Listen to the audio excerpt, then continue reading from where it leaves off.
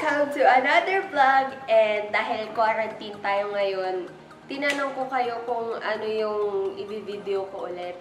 Uh, isang request nyo is house tour. Kaso, nandito kami lahat ngayon sa bahay kaya masyado pang magulo, ganun. Gusto ko ipakita uh, next time yung bahay namin kung um, onti na lang yung tao tsaka mas, mas maayos na. So, ngayon, ang gagawin natin is garage tour muna.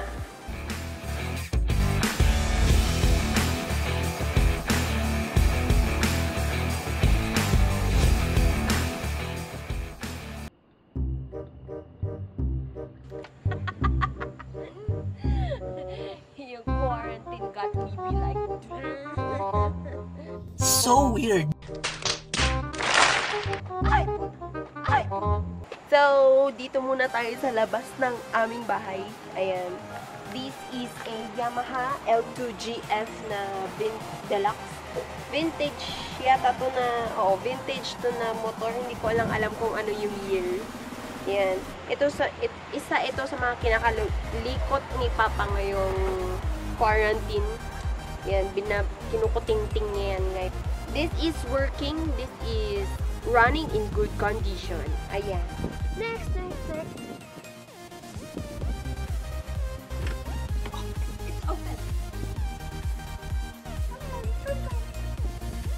Isa ito sa mga taxi namin. Dito kami kumukuha ng pangkain namin sa araw-araw, pang aral, ganyan. Kaya baby din namin itong mga taxi namin. Uh, I-PM nyo lang po kung, kung kailangan nyo ng magsusundo sa inyo. Ayan. Pero ano nga, syempre may dagdag kasi ano, request nyo ito yung taxi. Ayan, mga Baguio pips dyan. Yan. At saka guys, kung ano, um, tapos na yung COVID na yan, pwede itong taxi na to, at saka yung, syempre yung driver namin, Pwede kayong i-tour around Baguio City, ganyan-ganyan. So, just hit me up. Ganyan. I-DM nyo lang ako, i-message nyo lang ako. Ay, Hazel, um, punta kami ng Baguio. Papatour nga kami, ganyan-ganyan. So, eto, pwede nyo siyang i-renta. Ayun. Punta na tayo sa loob.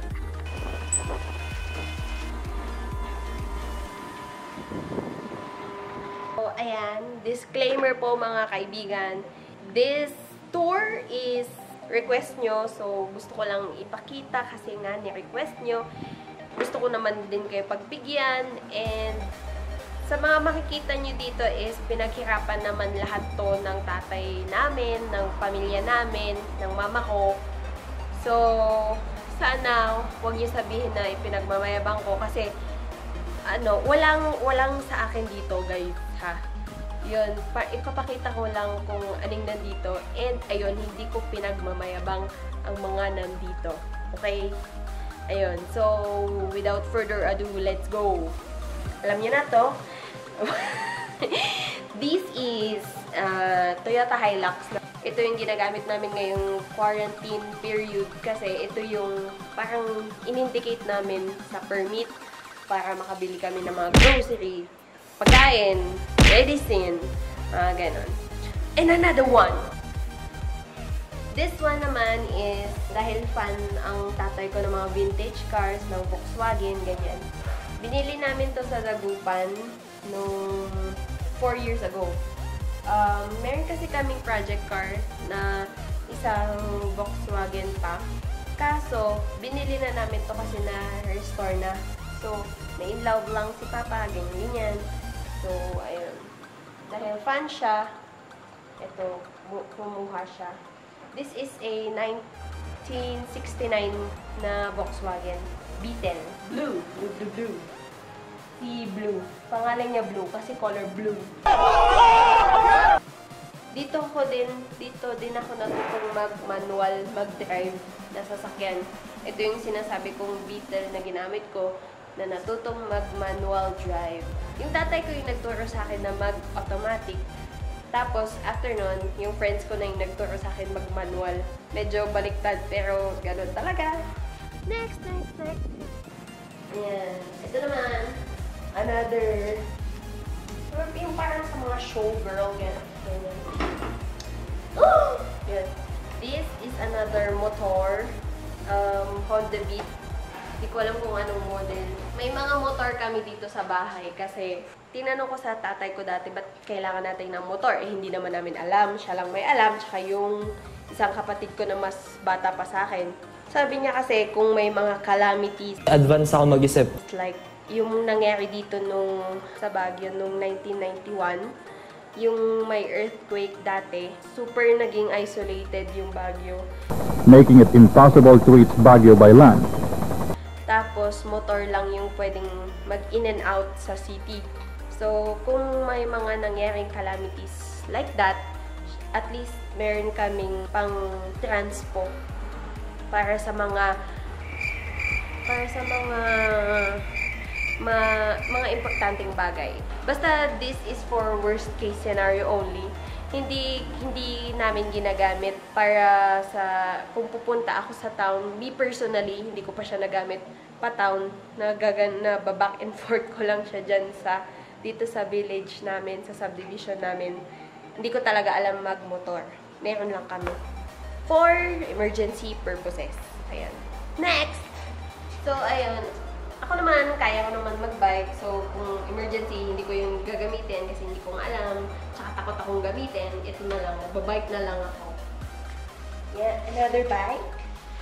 Tapos, this one naman is Toyota Fortuner na 2018 model. Ito ginagamit namin kung long drives with the whole family kasi dito lang kami kasya lahat. Since madami kami sa family, ito yung ginagamit namin na pang family time, ganyan-ganyan. Next, next, next. So, yung mga tatay nyo dyan, may mga manok, ganyan. Kami din, meron. Let's go, go! Yan. Chicken! Chicken sa yung mga, ano, pang-ulam namin kung wala na kami ulam. Say hi! Si Bantay! Say hi, Brownie! Next! Ito din yung area, yung garage kasi is medyo part na laundry area. Kaya andito yung mga uh, clothes, mga washing machine, and, and another one. So, ito, nakita niyo na to, yung EG ko na, ito na yung ginagamit ko pang race. This is um, 1994 na EG, Honda EG. Tapos, yun, dating DB15 yung makina nito, pinalitan na ng D18. Kasi yun yung gusto ng papa ko. Yun. Ito dapat yung gagamitin ko sa this season ng racing this year. Kaso, with the, so many unfortunate events, ayan, hindi na. Hindi muna nagamit. Yung nagamit ko pa lang siya sa hill climb. At saka hindi pa tapos yung paggawa namin dito kasi marami pang kulang. Yun, madami pa dapat ayusin para mas maganda yung handling tsaka mas comfortable i-drive. Ayan. Next, next, next. Kasha ako. Kasha, tingnan, tingnan mo. Kasha ako. Kasha. Yay! Ala ka.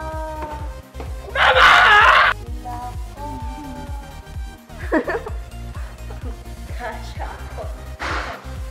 So, ito si Waji. Napakilala ko na sa inyo. Ang aking 1998 Honda SIR.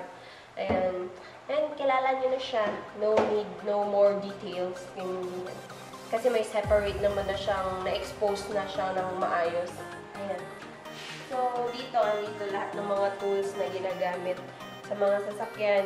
Kasi most of the time, dito na din nagre-repair yung mga mekaniko para sa mga sasakyan, lalo na yung mga taxi namin. Dito na ginagawa, dito na nag-change oil. Kaya ayun.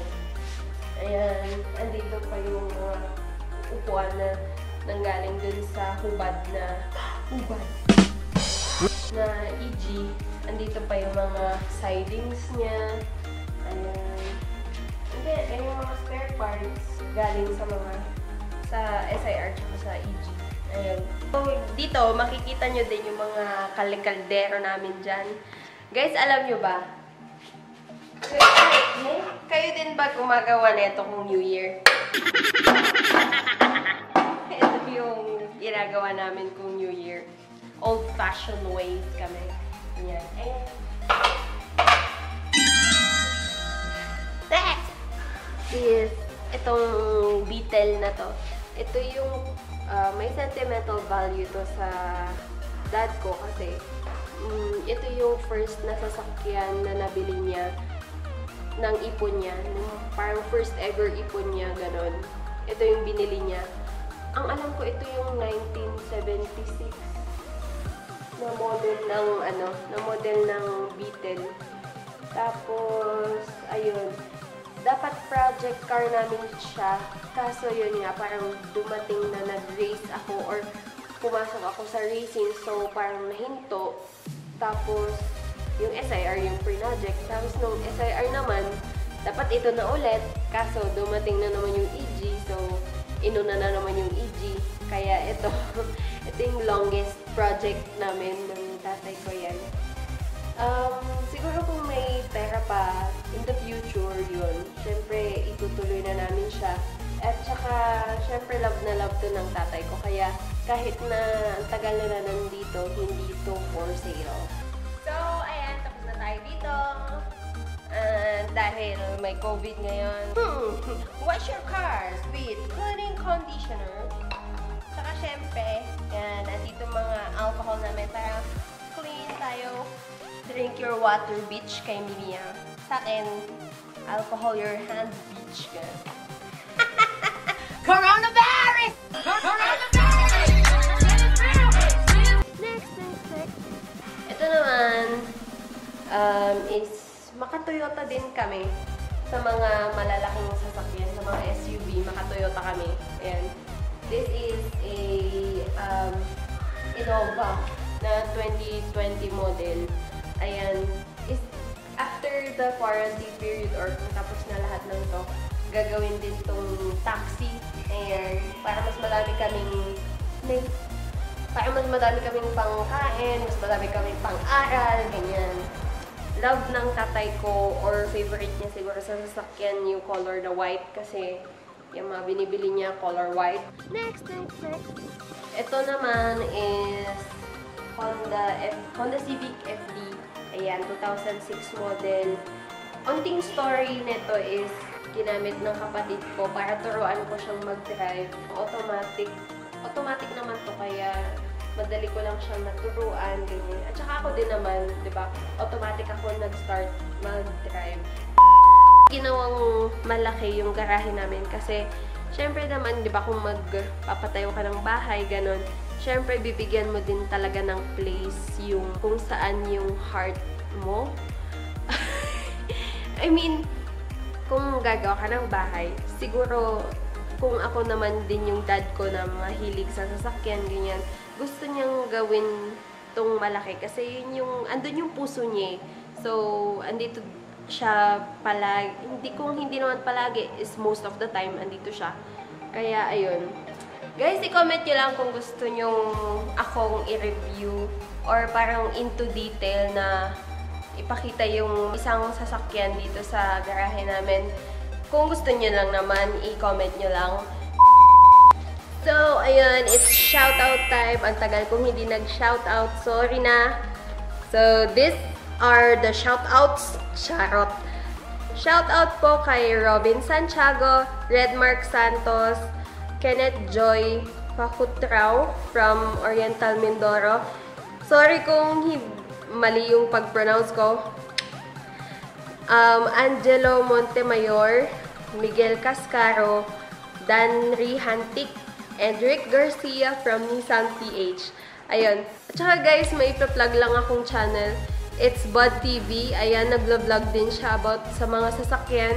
Be sure to visit nyo yung channel niya para um, habang ngayong quarantine, may, hindi kayo maboard, may mapanood kayo. Ilalink ko yung channel niya sa description box para click nyo lang yun and ayun, andun na kayo. So, ayun, um, this quarantine period, be safe guys, stay at home, and uh, make the most out of your quarantine period. Bye-bye!